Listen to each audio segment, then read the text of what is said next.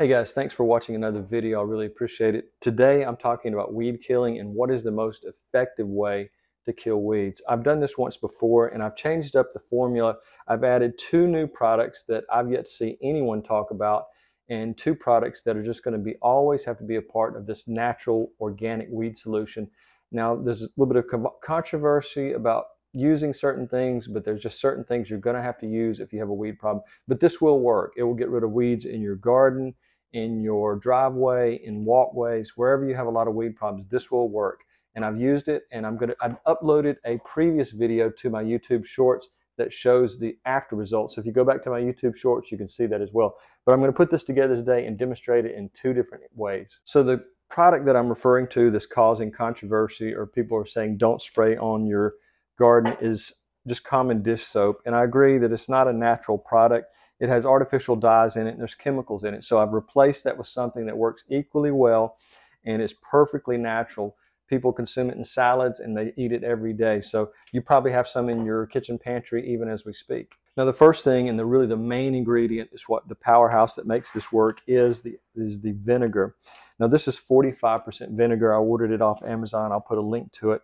And then this is the standard household vinegar. It has 4% acidity. Usually it's around 4 to 5% depending on which brand you buy. But this is really the key ingredient in this weed killer. Without this, it's not going to work. But the other two ingredients are equally important, or other three ingredients are equally as important. They will work all in combination together, and it's as natural as you can get unless you want to go to a chemical herbicide. That's your only alternative that I know, of, unless you want to go around with a blowtorch and try to kill weeds that way, and that's a, that will kill the weeds, but you're eating up natural gas, and it's a real headache. And if it's on a hot day, you're going to be even hotter. So I like using this. This is what I use. I use it in two different size containers, and I'm going to demonstrate that as well. So the next ingredient that's going to be added to the formula is lemon juice. I did not use lemon juice last time, and I did more research. It's, like I say, everyone consumes lemon juice. It's completely natural, but it acts as a desiccant that dries out the weed or the plant, the leaves, and this will help in conjunction with the vinegar. So it just boosts that. And of course, you're not going to use an entire bottle. You're just going to use a part of a bottle. So that's the second ingredient in our powerful weed killing formula. Now the next ingredient is what I've used to replace the soap and it's all natural. I eat it in salads all the time and most people, some people like it, some people don't, but it's completely natural. It can be consumed and people eat it all the time is olive oil. And what it's doing is replacing the soap as an adhesive to make the formula stick to the plant. And so it's perfectly safe. It works in two ways. It, like I said, it works by making the formula stick to the plant. Second way, it suffocates the plant and helps the weed to die. So that's what we're aiming for is to killing the weed. So that's this that's the next product. And the last product I'm going to talk about, there's two different variations, and I'm going to show you a new way to prepare the, the last the last component of our weed pro killing product. Okay, so the last product is going to be either Epsom salt or common table salt. And you can use either one. Both of them work equally well. It just depends on what you have in your cabinet. But either one, I've discovered in my smaller sprayer, if the salt isn't completely dissolved in the solution, sometimes it can stop up your sprayer. So I'm going to show you a new way to prepare the salt to make sure that it goes out of the sprayer evenly and without any problems with clogging or congestion in the line. So this is an unusual item I purchased a few years ago as an emergency stove, and I really like it. It's really it's really nice. It uses butane gas, and some people may have heard of it. If you've ever went to a buffet, you've probably seen one as just a temporary at a temporary station for cooking in different parts of a buffet. But this works really well out in the greenhouse. I can just store it in its case. It's around here somewhere. But this is a great item if you have an emergency. Um, I'll bring you in closer, but I'll try to show you. It came from South Korea Actually, I ordered it from South Korea, and it, this was many years ago, three or four years ago. And now they're available on Amazon, and I like it. They, they make some others that are cheaper I've seen, but this one I really like. It's really well made, and the price on Amazon is actually $50 lower than I paid. So I'll put a link in the description for that as well if you're interested. But it's a great survival tool if you have a power outage or something like that. But anyways, I'll get on to dissolving our salt and showing you how to do that. I'll bring you in closer too for that. So the first thing we're going to do is we're going to light our stove. It's self-lighting. It's got a little ignition thing there, and we're going to do that. Okay, it lights super easy, and then you can turn down the heat, but we're going to keep the heat a little bit on the high side. We want to heat up some water quickly. And we're going to do that. This pot's a little bit small for, all right. We're going to heat up this water kind of quickly.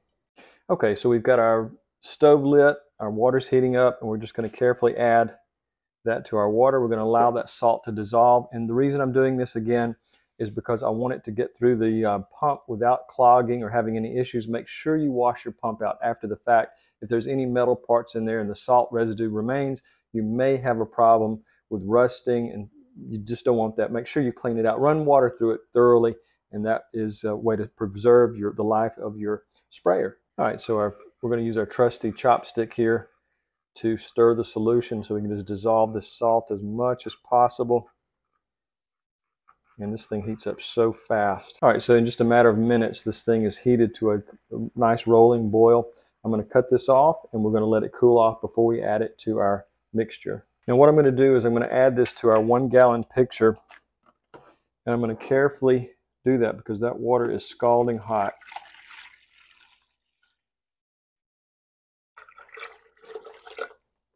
And this should cool down the water, but the salt is completely dissolved. And so I'm going to clean up the table and show you how to move on to the next step. Okay, so we have our salt and water mixture. I'm going to top it almost all the way to the top. We're going to leave some space for the final ingredients to our recipe. So I'm going to leave a little bit of space at the top. Now the next ingredient is our olive oil. That is what's going to help smother the weeds and also help this formula stick to the plant. So we just want a very small amount and I would guesstimate about four, three to four ounces. And so we're going to mix this again once we're through. Make sure it's well mixed.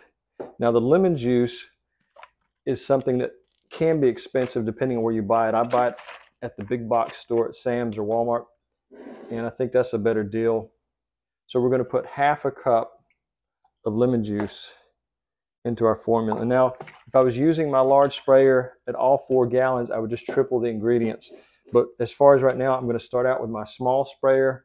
This sprayer is really one of my favorites. I've got just a small area of weeds in the garden, so I'm going to um, do that, demonstrate that first, and then I'll demonstrate the backpack sprayer with just a small amount because I'm not going to spray a large area today. I'm just going to demonstrate about a three foot circle and then we'll come back later in a YouTube short showing you the results in 24 to 48 hours later. Now the next thing I'm using is our low percentage vinegar formula. This is going to go in a small container. If I was using my large backpack sprayer for a huge area, I'd probably want to go with my 45% and I think that's going to be a better option but we're using this in just a small area in the garden. So we've got two cups of vinegar, our lemon juice, our olive oil, our dissolved salt, and so we have four ingredients.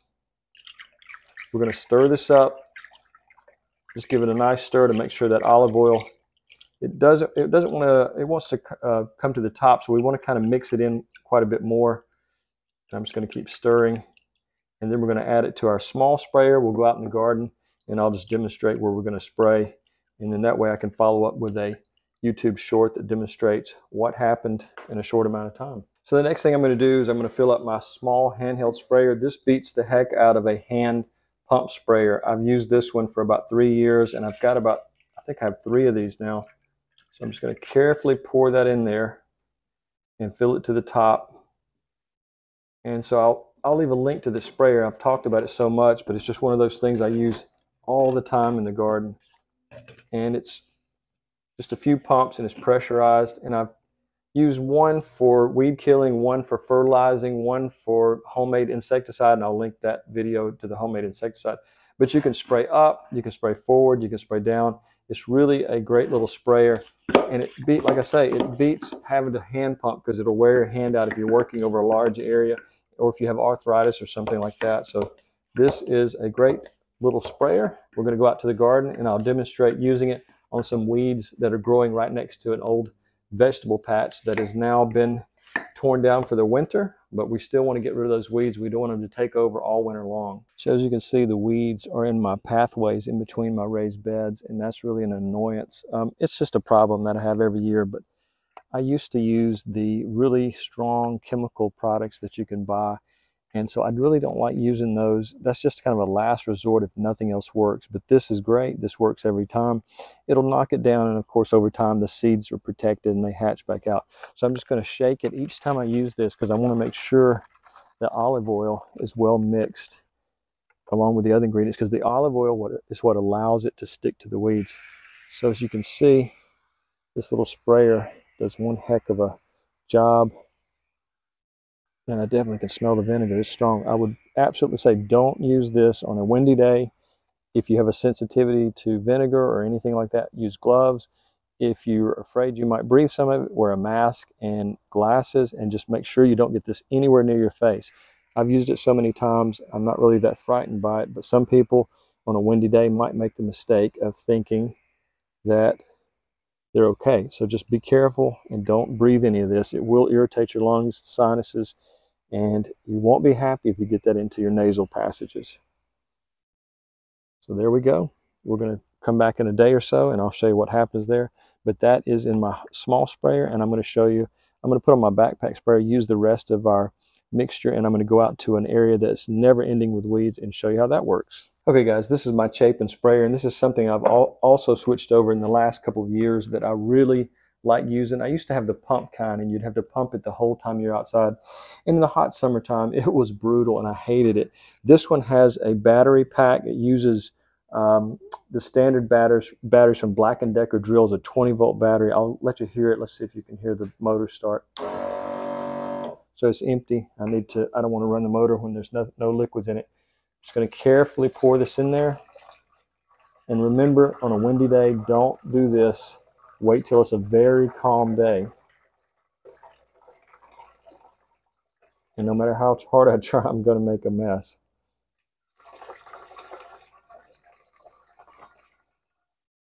All right. Now I'm going to, and this has a filter. So if you had anything in the water, this is a great little filter to filter anything out that might, might have been in there, like a leaf or something. But it works great. So we're going to put our top back on. We're going to cut our sprayer on. You can hear the motor running there. It fills up the line. And so as soon as you hit the sprayer, it releases it. It works great. And you, when you're spraying it, you're not anywhere near the, uh, the vinegar coming out, so you're less likely to breathe it. So that's one thing. I love these Chapin sprayers. Uh, when it came out, I bought this, I think, in 2020 or 2019 or 2020. And I've been one of the best things I've purchased for the garden. It works in different ways for me and it saves me a lot of work. Okay guys, so I've got my backpack sprayer on and I look a little ridiculous in it, but it works great. The main thing to remember, windless day, very calm day, and it's best to do it on a sunny day. It's a little bit overcast today. That's why the greenhouse is a little bit darker than usual. But just remember to try to use it on the hottest, sunniest day you can and a windless day. That's two key components to putting this out. Okay, so let's get started on killing some weeds.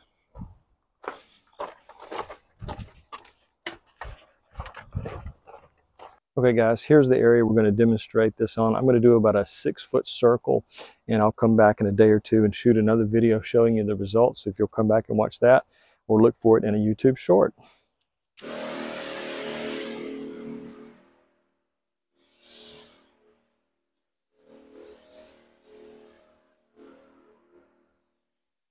Okay, so let's head back into the greenhouse and I'm going to talk to you about some more possible uh, issues with using this product and everything you should know when you're using it and everything you should make sure you do and don't do.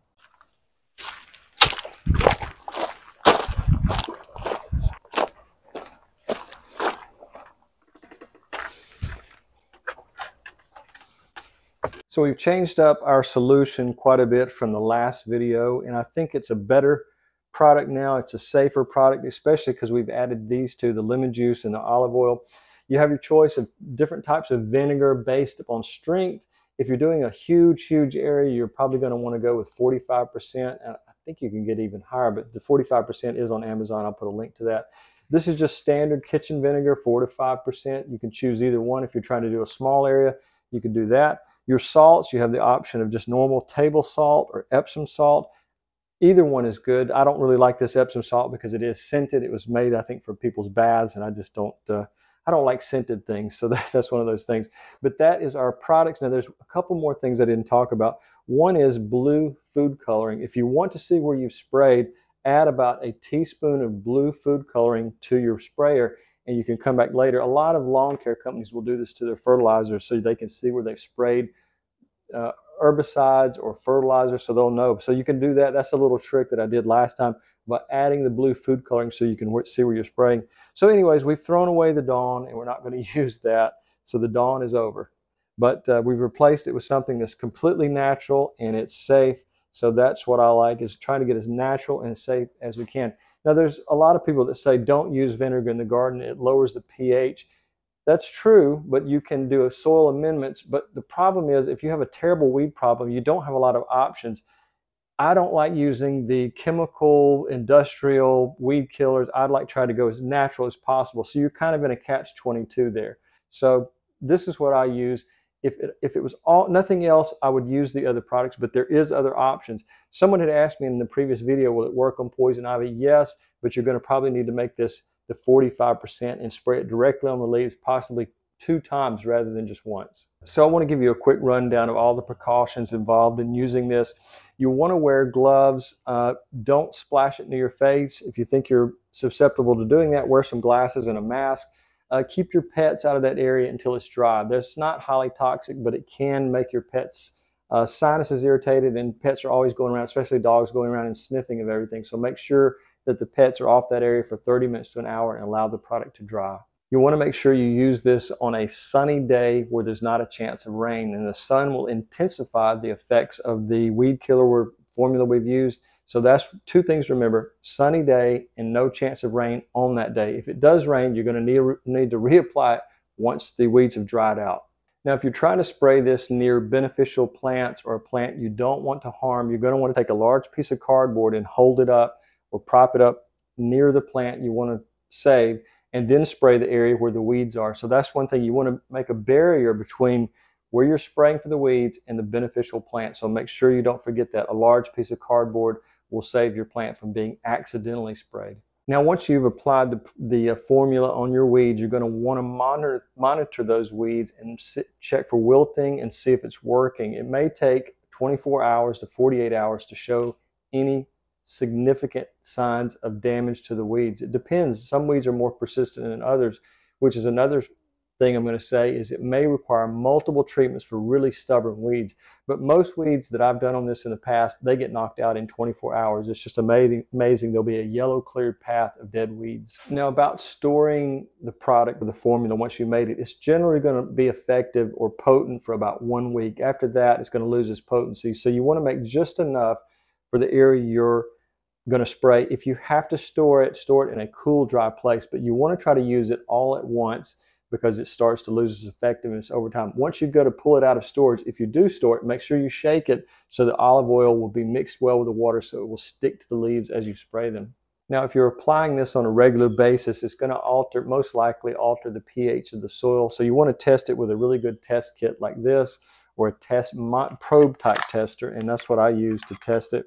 Uh, you can go for as little as 20 to $30 for a low end tester, up to hundreds of dollars for a professional level, but you're going to get pretty good results from a uh, this tester and many testers. I'll put a link to the two testers I own, and uh, I think you need to monitor that. But you can add soil amendments to it, but you have to remember the richer you make your soil, you're going to have uh, weeds come back. So you might want to consider if it's a continual problem, putting down a thick layer of mulch or pine straw. And under the mulch, you can even do a trick that I've heard a lot of people say, put down cardboard first that's going to break down over time and then put your, put your mulch on top of that. So guys, that is the end of the video for Natural Weed Killer 2.0. And we've eliminated one product that we didn't really care for and added in two more that are completely natural and that are going to affect the weeds in a negative way and just wipe them out. So anyways, I want to say thanks for watching. I really appreciate you coming back. I'm melting like a snow cone in August because it is blazing hot in the greenhouse. So anyways, I hope you guys have a great day and please like and subscribe.